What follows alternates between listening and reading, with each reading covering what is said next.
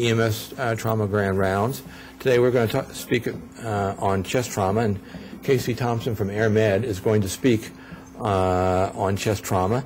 And uh, she's uh, been with uh, Air Med for a while. She can talk about that. She has many certifications. She's almost finished with her master's degree, and which she's happy for. And she's got lots of experience, and she's a great talker. Thank you. Thanks, Ross. So I wish you guys were here because I have an arena full. I have 1,000, over a 1,000 people here watching me right now. Okay, actually like five, but. so this is the first time I've done grand rounds before or trauma rounds. So not having an audience to kind of talk to is a little unnerving. So I expect a lot out of you, five. Even you, Robert, in the back. So, um, like Russ said, I've been with AirMed for about five years, and before I moved to Utah, I actually was living in Florida. A little bit different flying in Florida. No mountains. Basically, the Epcot ball is the biggest thing we had to watch out for. So a little bit different. And with the altitude that we have here in Utah, it was a really big lesson for me to learn all about the gas laws and how it affects chest trauma in particular. So the good news about chest trauma is it hasn't really changed. Nobody's really coming up with new diagnoses. Everything that we've known for 50 years is still the same. So hopefully we can talk a couple things today that um, you can kind of expound on in your own practice, maybe even assessment skills. And I think the one thing that after each flight I do is I kind of, with my partner, debrief the flight, what could we have done better. And the main thing that I'm coming up with every scene flight I do is I need to do a better assessment, and that includes the chest we're kind of um, against the time clock. We need to be off the scene within 10 minutes. So I have to kind of couple a very quick trauma assessment with a good trauma assessment. And that's always the one thing I can improve on. So hopefully we can talk a few things today and, and get you guys to also improve your assessment skills as well.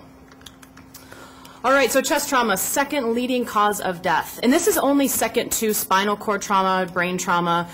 Be- The brain always wins between the heart and the brain um, war the, between the neuro nurses and the cardiac nurses. Any, when you look at traumatic deaths, 25% of those are chest trauma related. And then you take that one step further. 50% of your patients that come into the ER with respiratory distress, when they finally do need to get intubated, 50% of them die. That's a huge, huge mortality rate. And then you couple that with shock. So if you have shock, chest trauma, and respiratory failure, respiratory distress, 75% of your patients are going to die. So chest trauma comes in many forms. Sometimes the patients do it to themselves. So this guy definitely is classified as chest trauma because his chest is on the other side of the freeway. And sometimes we do chest trauma to our patients to try to make them better. So this is a thoracotomy, and it sounds like there was a thoracotomy lecture not too long ago.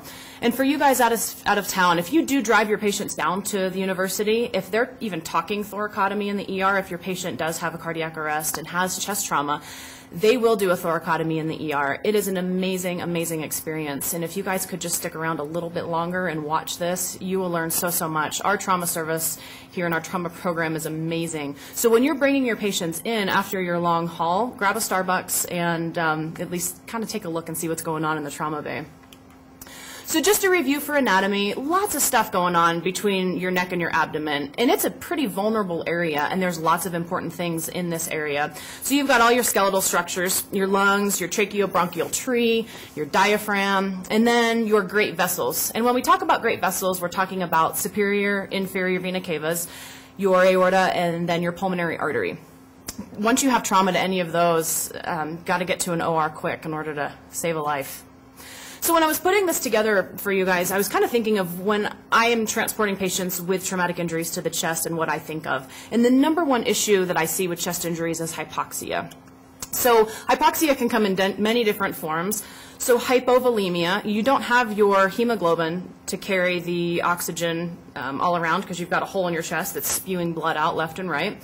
Failure to ventilate the lungs, so your rib fractures, your flail chests. Those patients don't want to take a deep breath. They're not getting oxygen down deep into their lungs. And pressure changes in the interpleural space. We take patients from 5,000 feet um, like maybe in Vernal, we fly them over the Uintas at 12,000 feet. Those pressure changes can cause havoc within the chest cavity.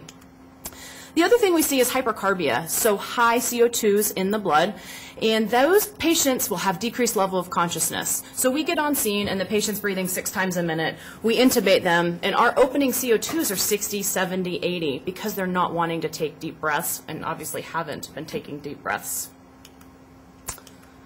So next, impairments to cardiac output. So cardiac output, stroke volume times heart rate.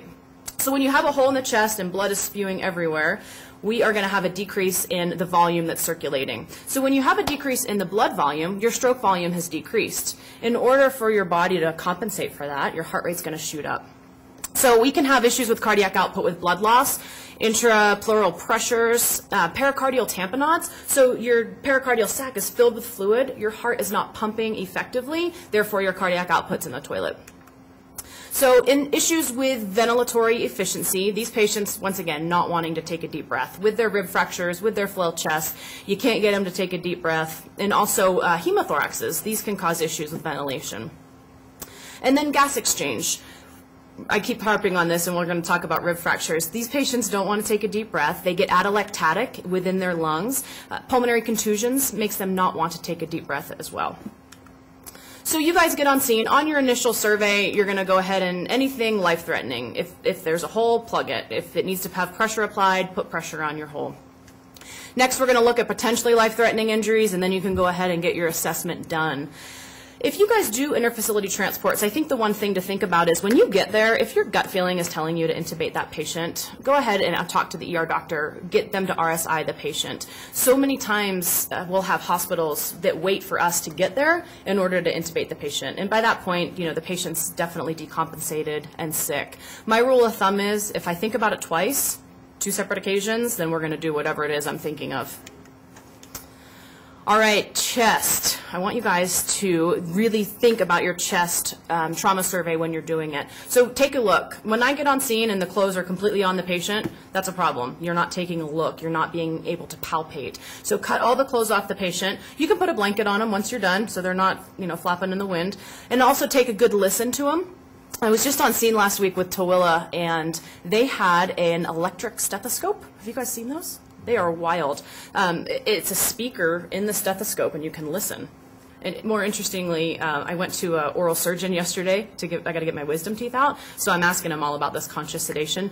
He has a Bluetooth that goes into his ear that it has your respiratory rate and your breath sounds in his ear the entire time. Crazy. So shout out to my Tooele homies that have the electronic stethoscope. First one I've seen. So with palpation, I want you to get in there. I'm not talking just a quick little looking over. I'm talking feel, push, push on the sternum, push on the ribs, get into their axillas. That is where your subcutaneous air is going to hide, right up in your armpit. So feel all around. And the respiratory rate. Are they having shallow respirations? Are they breathing at all?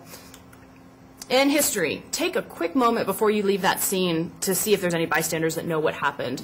And this is the one thing that I think everybody in EMS can improve on. And I get this question a lot from my providers in the Valley is what can we do better to make your job a little bit easier? And I love that you guys want to make my life easy. That makes me very happy.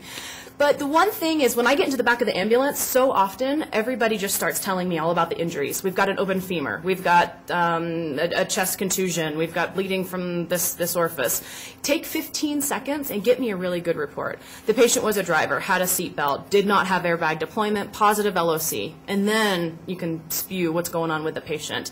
I know that you've probably told your LZ commander what the issue was, and the LZ commander probably told my dispatch what the issue was. We don't ever get any of that information.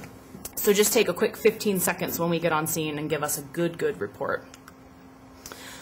Mechanism of injury. And with smartphones now, we can take pictures super easy. It takes two seconds. I love taking pictures of the cars on scene. When I get to the trauma bay, I say, hey, Dr. Vargo, take a look at this car. I know that this patient doesn't look like he's super sick, but there was an echo in the seat next to him, and this is what the car looked like. And also along the lines of mechanism is as you're taking, when you guys are driving up on scene, or for me when I'm flying over the scene, it really can answer a lot of questions. So if it's a frontal impact, I'm going to worry about the steering column in this guy's chest. So uh, myocardial contusion, sternal fractures, my first or second rib fractures. If there was lateral impact, who was the person sitting on the side where the uh, main impact came? This is actually a scene up on I-80 with North Summit, and as we're flying overhead, this is what we're seeing. And this guy had terrible, terrible chest injuries, um, and we actually did not transport him. He had actually nobody was able to call 911 for a while, and when we got there, it had been about an hour. So um, since the incident happened, so sad. So chest trauma, two different kinds. We've got blunt and we've got penetrating. The bad news is, is the blunt's more common, and it's definitely the less sexy of the two. Blunt traumas are, you know, people kind of like, ugh. But 70% of our traumas are blunt trauma, so we've got to be familiar with them. Four different kinds of blunt trauma. You've got your soft tissue injuries, your orthopedic injuries. So all those bones we talked about definitely can be fractured. They- They're causing chest trauma. And pulmonary issues, pulmonary contusions, pneumothoraces. And then your cardiac. Your heart sits right beneath your sternum. If your sternum's fractured, probably have a myocardial contusion as well. So the sexy of the traumas is penetrating trauma, my favorite, and I'm sure your favorite too. You hear you're going on a penetrating trauma, and everybody's so excited.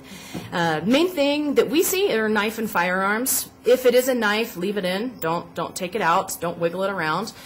If it is a gunshot wound, just tell me what kind of gun, what kind of bullet. And I know there's a lot of fancy bullets out there that I may not be familiar with. So that's the one thing I will be writing down is the type of bullet. Was it self-inflicted? Is there somebody on the run that has this gun that's a crazy person? And then um, the distance. So did they get shot from 50 feet away with a 50 caliber gun? Um, that probably might be a non-transport. But the one thing I want to caution you about firearms is not to chart entrance and exit wound because that can come back to bite you when you go to court. If you go to court, so if you if it's a self-inflicted gunshot wound, sure we can assume that this was the entrance in the um, anterior and the posterior was the exit. But please don't document that because when you go to court, they're going to say, well, you documented this as the entrance wound when in fact he had gotten shot from the back. So just something to think about with your charting. Rib fractures, kind of touched on this a little bit, and I think rib fractures don't get enough respect. Oh, go ahead, One Russell. of the things too, you talked about blunt trauma, uh, when they're, if they're in a cardiac arrest, uh, the important thing to remember is blunt trauma is ninety-nine point nine percent fatal. Uh, If you're out in the field and you, you got somebody in there, uh, in blunt trauma, you- you're not going to survive it unless you can you put the needles in and stuff like that, uh, to relieve a tension pneumo or something of that nature. Absolutely correct. Whereas penetrating has a much higher survivability. And so the sexy of the two traumas are the ones that we get to transport more because the blunt traumas may be dead on scene. And I think Russ is feeling bad for me, you guys. I told him that I feel like I don't have any interaction with you out there, all the way in Montana or Iowa, wherever you are. So he's feeling bad for me, and he's actually participating. So thank you, Russ, for making me feel better. No, I, I stick my nose into everything.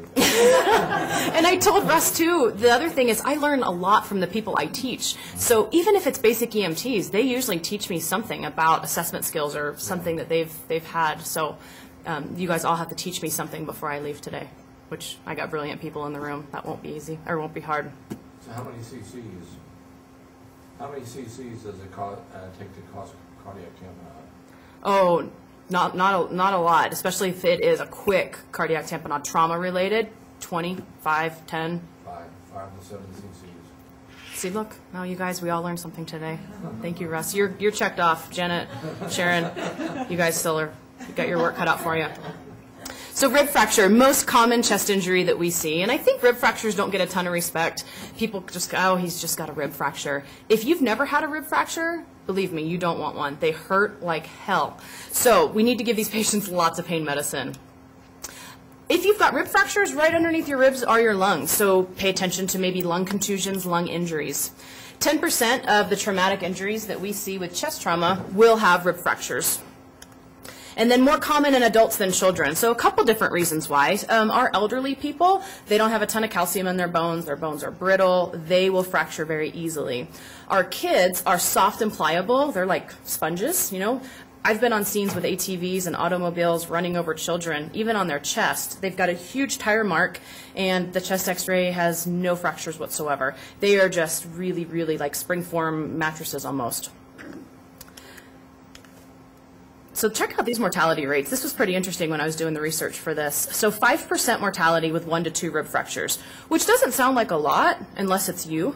If I was walking around with a 5% mortality, I'd be pretty scared. And then you add seven or more, 30% mortality rate. So then another thing to think about, if you take a 21-year-old and a 75-year-old and give them the same exact chest trauma, chest injuries, they've got double the mortality. So chest, um, chest trauma with rib fractures is nothing to mess around, especially with our older people. And our ribs form rings around, so if you're fractured in the front, you could be fractured in the back. So just pay attention to kind of listening, looking at the chest film and coming up with whatever you can. And when I say coming up with whatever you can, talk to the doctor or the nurse practitioner that's there. They are great, great teachers. So if you guys can hang around for the chest film to come up, it's great, especially at the U. We get like the swarm of people, and that's when I learn a ton because we've got the residents that are learning as well. So here's some rib fractures on this side of the chest film. So first and second rib, super hard to break the first and the second rib, and I can throw the clavicle in as well. These bones are thick, they're dense, and they're very difficult to break. If you know that you have a first or a second rib fracture, you need to start thinking of something else. There may be something else going on. Super hard, hard to break, and they hurt terribly, terribly, terribly. Underneath those first and second ribs, we've got an aorta and a bronchus to worry about. If you've got a lacerated aorta, you'll know pretty quick because your patient's going to tell you like, adios, see you on the other side. So 30% of patients with first and second rib fractures will die. And take a look for pneumothoraxes, pneumothoraces, and then your subclavian artery sits right underneath there. So pay attention. If they've got a lot of swelling, it's pretty interesting to see when you have a subclavian issue. But the good news is the most commonly fractured ribs are the fifth through the ninth. So that's good news because you don't have to worry about the aorta or the bronchus all the way down there. So eighth to 12th rib, when you think about these ribs, think about the underlying solid organs. So we've got the liver on the right side, we've got the spleen on the left, and then you've got your kidneys on either side. So if you know that you are having fractures of these ribs, kind of start thinking, okay, maybe we've got some solid organ damage, which if you've got a liver or a, a splenic laceration, lots of fluid. Those patients need big IVs and lots of fluid. So signs and symptoms.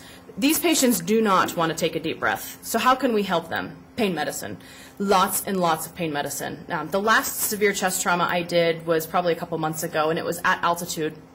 And it was a lady, her sats were like 85%, and EMS told us, hey, you, you're probably going to have to intubate her. So we get into the, the back of the ambulance, and she's kind of just really shallow breathing. She did not want to take a deep breath. So 85% on a non-rebreather, and my partner and I are kind of talking about it. We gave her um, some fentanyl, a little slug of Versed, and some ketamine, and she was the best deep breather I've ever met in my life. She was happy as a clam, so I made a new best friend that day. And secondly, she brought her sats up to 96%. We didn't need to intubate her at all. So the splinted respirations, you can help with pain medicine. They're going to have a ton of pain, maybe chest wall instability. Bony crepitus, and what I mean by that is as you feel over the bones, you can feel little Rice Krispies. And then bruising. So how do we manage rib fractures? And hopefully by now you're going to realize that I am the crazy lady that talks nothing about, I just, I'm a pain medicine freak. And that's because I think we've got enough pharmacology pharmacological agents with us to make our patients not be in pain. And I understand that most of you guys out there work under protocols, so you can only do as much as your protocol says, but two milligrams of morphine for rib fractures is not enough. So if you carry fentanyl, that's a great choice. Um, we're lucky enough to carry ketamine, and ketamine is such a good choice for these patients. So if I do see you guys on a scene, it's totally fine if you say, hey, I need you to um, call me the crazy lady that talks nothing but pain medicine. You know, that's me. I will definitely harp on pain medicine, harp on pain medicine. Are you going to teach me something, Janet? No. Dang, I thought it was your turn. so lots of oxygen on these patients. They should be on non-rebreathers. If you need to intubate them, great, go for it. Encourage your patient to deep breathe, which I think a lot of nurses think is the ICU nurse's responsibility, and it's not. We need to make sure that we're encouraging our patients to take deep breaths on the transport. And then we complicate rib fractures with elderly patients, with patients with pre-existing lung issues, so lung cancer, COPD, emphysema. The other thing that complicates rib fractures are obese people. The obesification of America right now is insane. The majority of the patients I transport are obese. These patients don't take deep breaths on a good day. So how do we expect them to take deep breaths with rib fractures? So the sexy part of rib fractures is flail chest. So we've all read this definition. Two rib fractures in two or more places of neighboring ribs. So they have to be adjacent and they're broken in two or more spots. The cool thing about uh, flail chest is, in theory, you should see um, a chest wall instability, so like a free floating segment. The bad thing is, is that some patients don't have that free floating segment early because they've got intercostal muscles that are spasming and they're actually holding that segment in place. So if you're relying on just looking at that, you may not see it, especially early. Usually secondary to um, blunt trauma. So uh, our patients that are underneath a car and the car dro- drops on them or uh, steering wheel to the chest, these are the patients you see flail chest with. More common in older patients, we talked about that. And the incidence is 10 to 15 percent with major, major chest trauma. So signs and symptoms, these patients will have the paradoxical movement, maybe. This is one of the most underutilized tools that I think EMS and nurses don't use, and it's free. Look at your patient's chest rise and your chest fall. And I don't mean like sitting on the side of the patient and kind of eyeballing. Get behind your patient, behind the head of the bed, get down to eye level, take their shirt off, take the blanket off, and look at chest rise. And it took me a while to appreciate this assessment skill because in the helicopter we can't listen. Maybe with this electronic stethoscope we can. But if you take a look and you can kind of see one chest is coming up and the other chest is kind of being lagging behind, something's going on. And I think if we could just constantly be reassessing that every 15 minutes on these long transports, it would help us tremendously. So look for contusions, which sometimes might be a later sign. Respiratory distress, all these patients are short of breath. All these patients have pleuritic chest pain. They don't want to take a deep breath because of this, they want to splint that side. If you give them a towel roll or a pillow, sometimes that helps as well.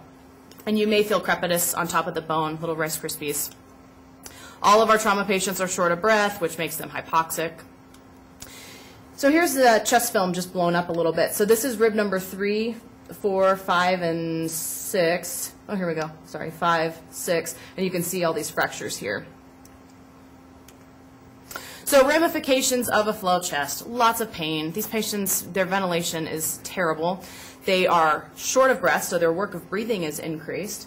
And those respirations that they're doing are so shallow, the tidal volumes are so small that they are not getting good oxygen saturation deep down in their alveoli. So what are we going to do? Give them pain medicine. The crazy lady on the telehealth thing told us to do pain medicine. Lots and lots of pain medicine. If you need to get an airway in these people, and if if the accident was four hours ago and it was a search and assist and we're going out to find these patients, they're definitely going to need airway assistance. Suspecting spinal injuries, they should all be on a backboard with a collar. If you do intubate these people, a bag valve mask with a PEEP valve on the end of them. Our ambu bags that we carry have a PEEP valve, and I don't know if a lot of the agencies carry PEEP valves or not, but it is a great adjunct to help get these patients not get atelectatic while they're in the hospital. You can stabilize that chest wall with, you know, the old school with sandbags. We don't carry sandbags. Towel rolls if you can. Uh, IV monitor and get them to wherever they need to go. So we talked about PEEP. So on every single test we all take, we know what PEEP stands for, positive end expiratory pressure. But what does it actually mean in theory? So this is a great video. This is a set of rabbit lungs, and this is not what I did last night in my spare time, I promise. Uh, but what we're going to do is, as the video starts, there's five of PEEP on the lungs. So there's five of PEEP, and now he's actually going to put on 10 of PEEP. and now the cute rabbit's going to get 15 of PEEP. And you can see every little last alveoli is popping open. This is such a great illustration to show you exactly what PEEP does. We always talk about it in theory, but here's real life right here. And now you're going to see he's going to take the PEEP valve off. Now. There we go. So I talk about PEEP, and it's a great tool. However, there are some side effects in patients that should not get PEEP. So when I think of patients that shouldn't get PEEP, I have to go back to the pathophysiology. And looking at this illustration, it makes it it just makes sense to me, which I love it when stuff makes sense because a lot of stuff in my life just does not make sense. This is one of those things that that will though. So as you're putting that PEEP on, you saw with 15 of PEEP, those lungs are huge. Your thoracic cavity is not very big. So when you're pumping somebody's lungs up with 15 of PEEP, you're increasing the pressure in their chest. As you increase the pressure in their chest, venous return coming back to the right atrium is decreased. So as you decrease venous return, you're de- decreasing cardiac output. So the patient that does not need PEEP are your patients with low blood pressure. So if you're if I'm on a scene and my patient's pressure is 70 over 40 and somebody says, "Hey, how about PEEP?" I'm going to go, "No, we're, that would decrease venous return and then make their blood pressure even lower." Um, another patient population I can think of that would not benefit from PEEP are your status asthmaticus because those patients are auto PEEPing as it is, and the last thing they need is more PEEP. Sternum fractures. So here's actually just some um, images. You can kind of see the fracture there and then the fracture there. Sternum fractures are really, really hard to do. So you should think of yourself lucky if you can get a sternum fracture, because the chances of that is 5 to 8%. So if you get a sternum fracture, you're definitely um, in the smaller part of the population. The bad part about sternal fractures is they hurt terribly, terribly bad. Usually blunt force trauma to the chest, a steering wheel to the chest. The last time I saw a sternum fracture was out in Vernal. It was a 65-year-old guy that had an ATV roll on top of him and stay on top of him. And when I got there, he was in atrial fibrillation, and I said, "Oh, how long have you had AFib?" And he said, "God, everybody is asking me that. What in the, what is AFib?" And he actually had a change in rhythm from the sternum fracture, which crushed, which gave him a myocardial contusion, and changed his rhythm. Associated with steering wheel injuries, patients that are working underneath trucks or cars and have the, the car kind of compress their sternum, that's how they get these sternal fractures. So pretty high mortality rate. If I had that mortality rate walking around, I would walk around with a helmet and protective gear 24-7. That's pretty, pretty high. With sternal fractures, you're going to get a myocardial contusion because your sternum is crushing your heart, which is crushing against your vertebral column. So it's kind of squishing everything in between, including your lungs. These patients can get pericardial tamponades, and you can also disrupt their aorta, which is a bad day for that patient. And tracheobronchial tear. When we talk, we say tracheobronchial tear, tracheobronchial disruption, and what that is, is, is your trachea comes down and bifurcates into your bronchuses, bronchis. There's usually a tear in the trachea or the bronchus, and you will know this because these patients have air escaping and they get subcutaneous air building up. Also, be on the lookout for a flail chest, and now that you're so smart with flail chest, you're going to catch it like that. So findings with sternal fractures, these patients have a ton of pain. They're tender over the sternum. You're going to know they have a sternal fracture before the radiology images come back because when you're palpating on their sternum, they're going to scream their head off. And then you can say to the ER doc, hey, I am suspicious for a sternal fracture. You can feel crepitus, they're, they're tachypneic, they don't want to take a deep breath, and cardiac arrhythmias can ensue. So atrial fibrillation, PVC, V-tach. So if you're talking with that cardiac arrhythmias and heart failure and with, oh yeah, sorry, with pulmonary contusions, I mean, that's another one with fluid leak and stuff like that. I would assume that you have to be judicious with your IV fluids. I mean, you want to maintain pressure, but kind of like that catch-22 situation. Yeah, no, I totally agree. And there's a lot on permissive hypotension, too, that it's actually okay to leave our patients at a MAP of 60 or 65. So if you are suspecting that with that leaking, that would be scary because their pressures are going to be low. Then you just kind of have to think, okay, can I live with the pressure of 80 over 60 and a MAP of 64? I can. I would be fine if that was my mom with that blood pressure. Really good point, Russ. Russ has two points, you guys. You better catch up. I was gonna actually say that, but he's got the mic. So the management for sternal fractures is much the same of everything we talked about. The only thing different is if you're suspecting a sternal fracture, hook them up to a 12 lead and keep that 12 lead hooked up for your entire transport. And then you can just kind of take a look at it and see if there's been any changes. And get them to a trauma center. Or call me. I'll be happy to come get them. So pulmonary contusions, fancy word for bruising of the lung. These patients are usually high velocity. These are your ejections. These are steering wheel columns to the chest. These patients usually have rib fractures, sometimes a flail chest. 20 to 40 percent of these patients uh, that have rib fractures will have pulmonary contusions as well. Lots of hypoxia issues with these patients. They don't want to take a deep breath. Their SATs are low. Give them some pain medicine and they'll breathe for you. Interesting thing with pulmonary contusions is your alveoli actually can rupture, and when they rupture, they bleed, and that can kind of cause some edema, like Russ was saying, you get a fluid leak. Patients with pulmonary contusions sometimes will actually start coughing up blood. So that is a tip off to go, oh gosh, something really bad is about to happen. Signs and symptoms, lots of pain. These patients will have some adventitious lung sounds. They're, they say they can't take a deep breath because their lungs feel stiff. They're tachycardic. They may be spitting up blood. They don't want to breathe. Lots of, um, lots of uh, chest wall contusions. And the x-ray will show some opacity, and you can kind of see it right here and right a little bit over here. When you're looking at a chest film for pulmonary contusion, sometimes it takes 24 to 48 hours to show up. So what that means for you, when you bring a patient in and they do a chest film and they say, holy cow, look at the pulmonary contusions that we can see, that tells you that they're pretty severe. Most pulmonary contusions that are minor, you pick up on CAT scan. So if you see them on the chest film, that's definitely a significant injury. And these patients' ABGs over the next two to three days are going to get worse and worse, and they may need to be intubated. Management of these patients is much of the same.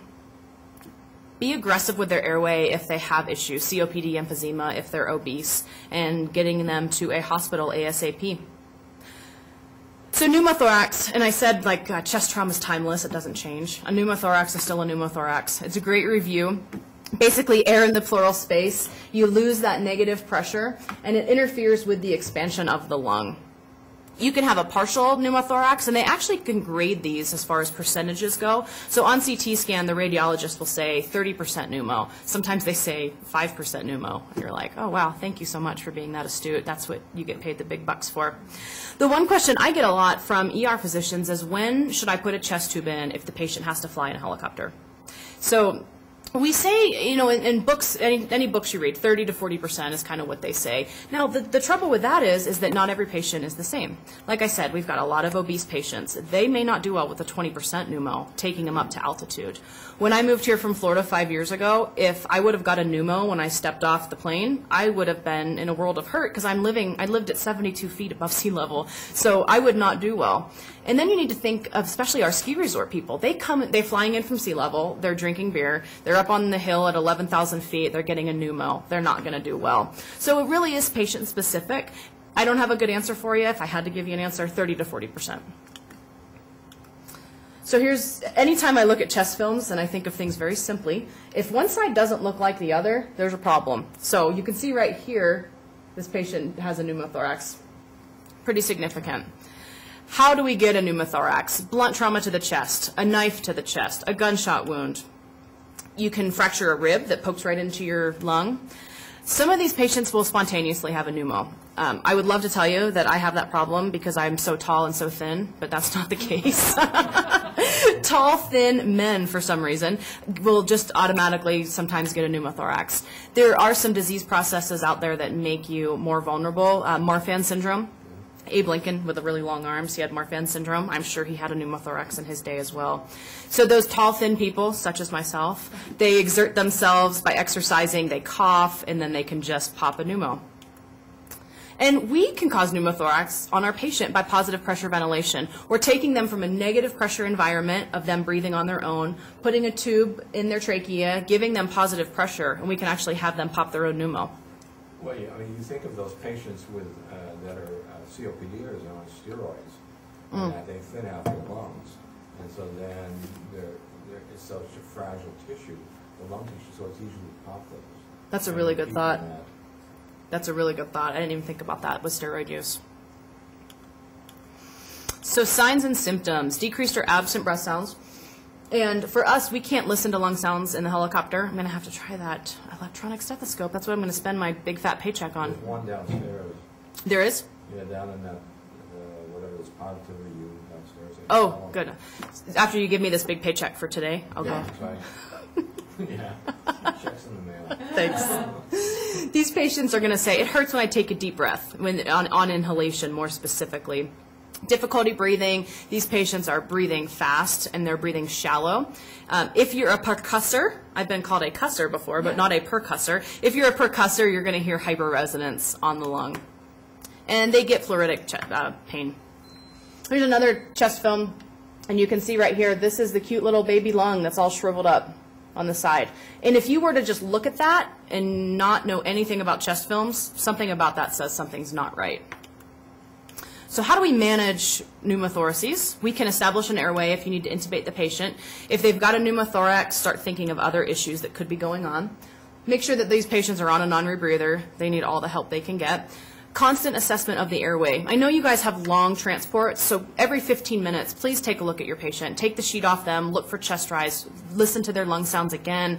Hey, is there anything different now than there was 15 minutes ago? And then chest tube placement. We need to have big fat IVs in these people with, with fluid hanging, and we're going to monitor for attention. So for, for my job at, at AirMed, we put chest tubes in. And I know that you guys don't put chest tubes in in the field, but it's nice to know how to put a chest tube in because then you're going to, you'll be one step ahead of the game. And if you're ever in the ER, you can tell the doc, hey, I'll put sterile gloves on and help you. I'd be happy to hand you instruments. The hardest part about putting a chest tube in is just getting your anatomy down. Patients are, are fat, um, especially our elderly women. It's hard to do landmarks on elderly women. So landmarks. For, for men, let's do nipple line. That'll take you right about fourth to fifth intercostal space. For our cute little 80-year-old women, if you did nipple line on them, you'd be putting chest tubes in their bladder. So what we're going to do is go mammary crease. And your mammary crease is just on the inferior part of where your breast um, comes out. So that's a great landmark. Another down and dirty way is to stick your hand in your patient's armpit, and where your pinky lays is going to be your fourth intercostal space. So we're shooting for fourth to fifth intercostal space. So we're going to clean the site really good. We're going to have sterile gloves on. And we are going to cut with a scalpel on top of the fifth rib. And when we cut, we're going to cut down, cut down, cut down. And then we're going to take peans, which are about this big. They look like big fancy hemostats with a curved end on them. And you'll see us hold these peans in a certain way. And what the pean is meant to do is pop through that pleura. So as we pop through the pleura, you're going to hear this amazing noise. It's going to be like, oh, and the patient may take a deep breath if he's awake, and it's just going to be an explosion of air or blood, so be careful. Once um, we've popped through the pleura, the emergency's over, okay? The air's going to escape, the blood's going to escape, and one thing that I wanted to mention with the ribs, we are going to go, as we go into the pleura, we're going to go up and over the rib. And the reason is, is that on the inferior portion of the rib is where your nerves, arteries, and veins lie. So when we do any um, chest tubes or needle thoracostomies, up and over the rib is how we enter. So once we get into that pleural space, the air gushes out, everybody claps, you get to take a bow. No, not really then we are going to um, introduce our chest tube, and our chest tube will be preloaded on another pean, uh, sterile, and our, my partner's going to hand it to me, and um, I have my finger in the pleural space. I'm going to actually just switch my finger out with my chest tube, and then I give my chest tube a nice little twist superiorly, and that's where the chest tube is going to lie. Main thing with the chest tube is to make sure that all the holes that are on this chest tube are actually in the patient. If the hole is outside of the patient, there's a problem. So we need to make sure that it's in we may suture or we may put um, little towel clamps on the outside of that. We're going to hook it to a Pleurovac or a little tiny Heimlich valve, which is like a mini Pleurovac. And then we're just going to put some, you know, just some gauze on the on the end of that, tape it up really good so it doesn't move during transport. Chest tubes don't take that long to do. It's actually just like the the anticipation of doing one. There was a, a, call that one of my nurses did out in Tooele, and the patient was awake. They gave the patient some medicine, and he had a, a bad pneumothorax. They put the chest tube in, and he said that even though it did hurt, he said that the relief of pain was worth. He said, I, "You can put four of those in me. It was that wor- It was that much worth it." So, if you need a chest tube in the worst way, it actually is. It's a relief for your patients. So, sucking chest wounds. How do you know your patient has a sucking chest wound? Well, hopefully that big hole in their chest is going to give it away. That big nasty noise that that, that the hole in the chest is making. There is a great animation of this. If you just go on YouTube and do a search for a movie, it's called Three Kings with George Clooney, very easy on the eyes. One of the guys gets a sucking chest wound, and George Clooney actually puts a needle in this patient. I would have shown it today, but there's a lot of F bombs on there, and I don't want to offend anybody. So if you're so inclined, you can take a look at that video th these wounds can form a one-way valve, which, which is problem, problematic because as your patient takes a deep breath in, great, life is good. But when they go to take a deep breath out, there's really no way for that air to, to escape, and it could cause a tension pneumothorax. If that wound is big on the chest, like our military people that, that are in um, the Middle East that get big wounds, the air is more likely to enter that wound than it is their trachea. So it's really important that we get this taken care of quickly. So the opening in the chest wall is going to tip you off. They're going to be tachycardic. They, they're going to have respiratory distress. They're going to have sub-Q emphysema into their necks, into their axillas, and obviously decreased lung sounds on that affected side. So cover with an occlusive dressing. And what I mean by occlusive dressing is not just um, a 4x4, because there's a ton of holes in 4x4s. We can throw some Vaseline gauze and then some 4x4s on top of those. We're going to tape it on three sides. In theory, that's meant to let air escape. This patient really needs an operating room. Make sure they have a non-rebreather on. We're going to monitor for a tension pneumothorax. Maybe put a chest tube in these people. IV, EKG, and get them out of there. Spending time on scene, dinking around with this is not going to help. Some of the medics in the valley are carrying this, and I don't know if you guys carry these um, on your trucks or not. Uh, Asherman chest seal, and basically this is a fancy 4x4 with Vaseline gauze on it. This right here is the flutter valve to let air escape. It's great. It's, it's wonderful um, when it works. So tension pneumothorax, this is the fun stuff right here. Air is entering the pleural space as the patient takes a deep breath, and it has no way to get out. This is a life-threatening condition, and if your patient has a tension pneumothorax, it's not time to grab a cup of coffee before we fix it. It's not time to do a chest x-ray so we can get it on a picture. There's plenty of those out there. Your intrapleural pressure is rising. It's actually causing pressure to push on this side. So now your heart's getting compressed, your superior and inferior vena cava is getting compressed, your trachea is going to the other side, and then this lung is getting compressed. So it really causes a lot of drama for everybody. So blood can't return to the heart, decreased venous return, so your cardiac output is, is then going down dramatically. Once the cardiac output falls, the patient starts going into shock. This happens so, so quickly, so you've got to be ready for tension pneumothoraces and be ready to treat them.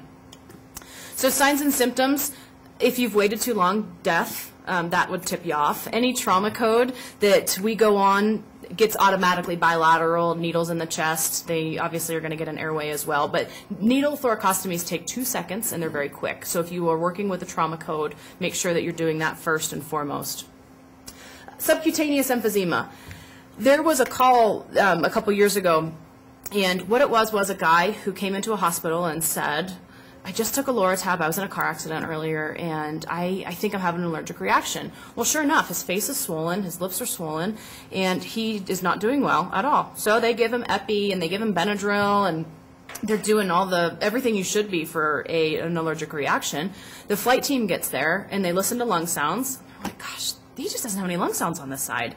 And he starts saying, I am not doing well. His pressure's in the toilet. His heart rate's super high. He had a tension, he had a tension pneumothorax, which was causing subcutaneous air to make him look like he was having an allergic reaction. So when you have subcutaneous emphysema, it may be a lot, and it may mimic an allergic reaction. So something to think about. So signs and symptoms. These patients look like they're going to die, and if you let them, they will. This is what it looks like on chest film.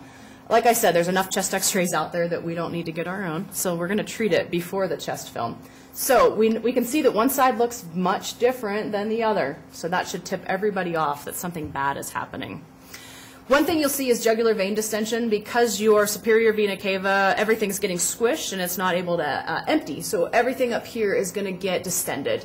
If they're hypovolemic, let's say they have a pelvic fracture and they've lost three liters into their pelvis, you may not see the JVD.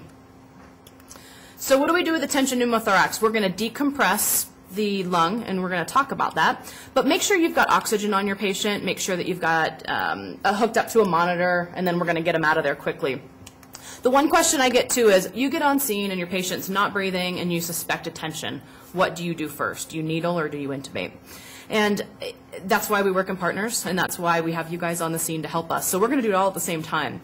But there's a cool story. One of our nurses that flew in California, they were on scene and they were intubating the patient and she's I don't see anything I don't see anything and she said to her partner hey can you give me some ELM so external laryngeal manipulation just to kind of get the cords in view and he says yeah let me just needle real quick he needled while she had the blade in the guy's mouth and immediately that trachea came into view so if you can pick one needle first and then it'll make your life a ton easier so needle thoracostomies are easy as long as you've got good landmarks. Once again, Tooele. Oh, is Tooele watching? Did they watch? They Oh, that's so sad because I'm going to give him props again. The last one that I that was done in the field for me was a guy who fell off a ladder probably a month or two ago. An older guy. They got on scene. His sats were 40 to 50 percent. He was barely breathing, and they didn't have any lung sounds on the one side. And they needled. They did a perfect job, and the guy immediately. Gosh, still had his bell rung, but it was really, really significant, um, and they did a great, great job. The one thing is getting your landmarks down, which is so hard because patients are bigger and bigger every day I come to work. I transport big people. That's what's happening. So landmarks on these guys is hard. So here's a couple really cool tricks. So we're going to go mid-clavicular line. The thing I see is people going too medially because think about your clavicle where it inserts over by your shoulder.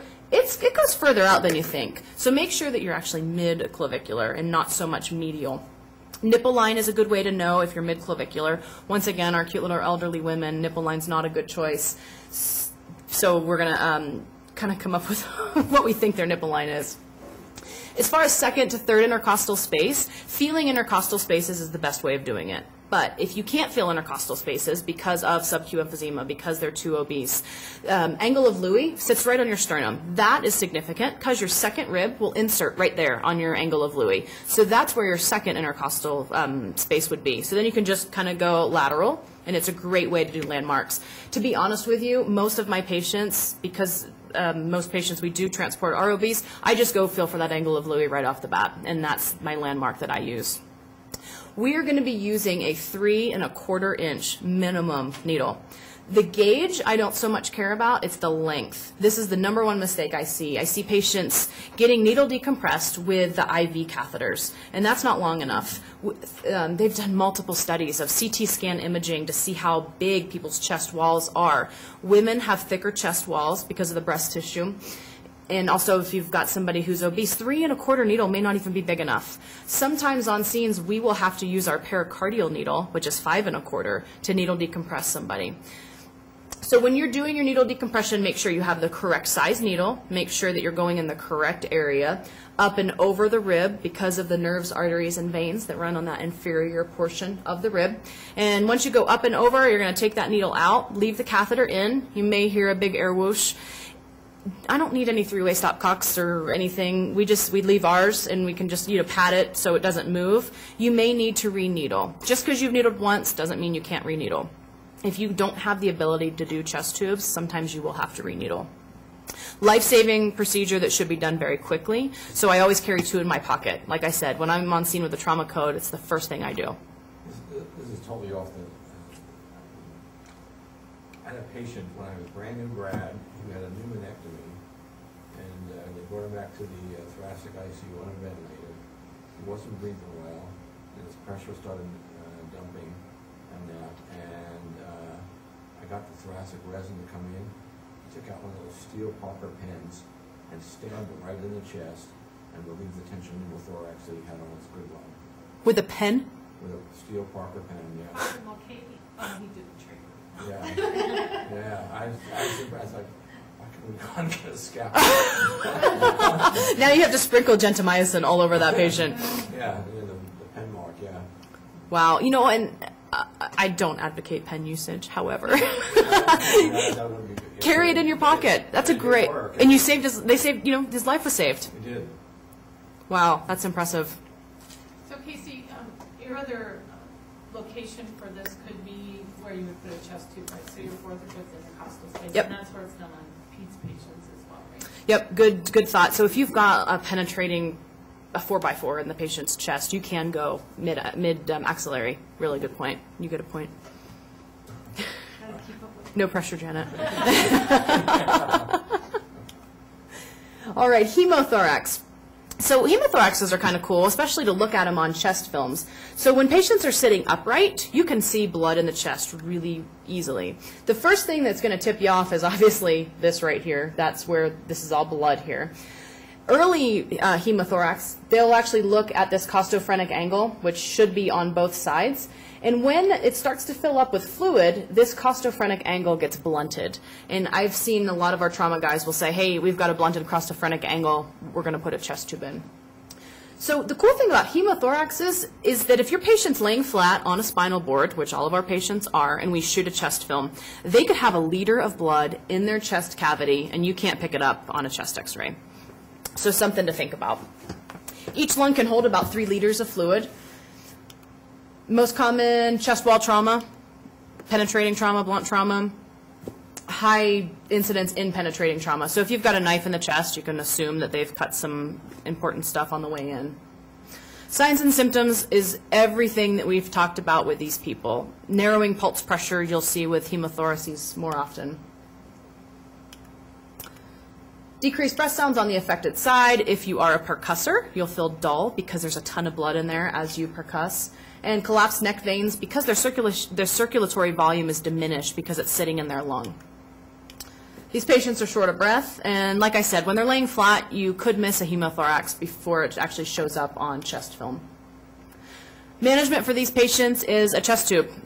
When you put this chest tube in, be careful, have your, you know, if you know it's a hemothorax, anytime you're helping with a chest tube, you need to have glasses on, gloves on, a gown on. These can get really, really messy. The chest tube, when it goes in for the hemothorax, can actually help tamponade some of the vessels that may be bleeding. Just because we put a chest tube in a hemothorax doesn't mean we've fixed the issue. They, um, if they're still bleeding, we'll have to go to the operating room. So cardiovascular trauma, any patient with chest wall trauma is assumed to have cardiovascular issues until proven otherwise. And more so with patients in shock, always assume there's something wrong with their heart. So myocardial contusion can look like an um, can look like a myocardial infarction as well. They can have changes on EKGs, their troponins, their CKs can be bumped. They can look like they're in cardiogenic shock. And we talked about with the sternal fractures, it actually gets squished between the vertebral column and the sternum. That's why these patients do not do well. Most common cardiac injury uh, with trauma and the compression of the heart and uh, against the vertebral column. Signs and symptoms, chest wall bruising. These patients will have arrhythmias. Hook them up to a 12 lead and just leave the 12 lead connected and you can just continually reassess. And these patients have pain that's independent of their respiratory cycle. They are just constantly having pain. And their enzymes may be bumped as well. So lots of oxygen, big fat IVs. Make sure that you're keeping the 12 lead hooked up and getting them to a hospital ASAP. All right, Russ, here's your favorite, pericardial tamponades. So rapid accumulation of blood in the pericardial sac. So as you and I sit here, we've got maybe 20 cc's of a, um, a thin lubricant in our pericardial sac that's just meant to be a lubricant. It's just meant to help your heart pump. Whenever you have a rapid accumulation in your pericardial sac, patients do not do well. Now, the opposite of that is patients that get pericardial effusions. Some patients can accumulate over months, and they can have 300 cc's in their pericardial sac. They do okay because it was a slower accumulation. Our trauma patients do not do well. And as Russ mentioned, 5 cc's may be the difference between um, a rhythm and PEA. So your heart gets compressed, it's not pumping effectively, your venous return is decreased, which is going to mess up your stroke volume, and cardiac output equals stroke volume times heart rate. So if your stroke volume is decreased, then your cardiac output is going to fall. And then these patients go into obstructive shock. Signs and symptoms, Beck's triad. Once again, this is one of those things that's on every single test. In theory, less than half of our patients are going to show us Beck's triad when they have a pericardial tamponade but we'll go over it just to make sure you guys feel good about yourselves. So hypotension, distended neck veins, and then muffled heart sounds. Heart sounds are one of those things that I have a love-hate relationship. When I can hear them, I love it. I'm like, oh, I listen to the heart tones, and I can hear an S3 or an S4, or I can hear a, um, a friction rub. But when I can't hear anything, I feel like a loser. I'm not great at heart tones. I need to go back to the ICU. So your neck veins may not be distended. If you have other trauma, you may be hypovolemic, so your neck veins may not be distended. People with chest trauma tend to be hypotensive anyhow, and muffled heart sounds are hard to hear. So any signs of decreased cardiac output you're going to see with these patients. They are going to be anxious, they're going to be altered, their blood pressure's in the toilet, they're short of breath, they get that narrowing pulse pressure, and then pulsus paradoxus, which your radial pulse is weak or actually disappears when your patient is inhaling. And that's one of those things that I've read. Um, I don't know that I've ever seen that in real life. So this is a pericardial effusion, but you get the idea. Your heart gets big. This patient needs to get it drained. So for us in the field, we're not sticking needles in people's hearts as they're sitting there talking to us, okay? Pericardial centesis is reserved strictly for uh, patients in PEA. I think in the ER trauma bay, you guys, do you routinely just stick, stick them? Okay. So when they go into PEA and there's a high suspicion, then we'll go ahead and do a pericardial centesis. Patients that are awake and talking do not need needles in their heart, okay? Now, as far as the pericardial centesis goes, five and a quarter needle, you're going to find the xiphoid process. Just go a little bit to the, as you're, as you're looking at your patient, it's going to be our right, their left, and 30 to 45 degree angle. As you are sticking the needle in, you're going to pull back on your 60 cc syringe with negative pressure. And what that's for is the minute you get into that pericardial sac, you're going to get a flash of blood. Some of these patients, like Russ said, 5 cc's you'll get back, and the patient goes back into a perfusing rhythm. It is super, super impressive to watch. These patients need a ton of fluid, and the hope is is that you can get their cardiac output up enough to get them normotensive again. Once you do, if, if let's say your ER doctor has done the pericardial centesis and that patient needs to be transported, leave that catheter in because then when the patient goes into a PEA rhythm, you can actually just draw off the fluid. Three-way stopcock on the end, sterilely, would be great. And they need to go into the OR. Another piece of trivia, you've drawn off the blood, and you've got it in a syringe. What's special about that one, pericardial? It doesn't clot, Russ. There you go. see, It's defibrinated. that's right, So the blood won't clot. Very good. that's right. So that's how you know that um, you're in the pericardial sac versus, Right, yeah, in the left ventricle. Yeah. Which is why we don't do pericardial centesis on awake patients.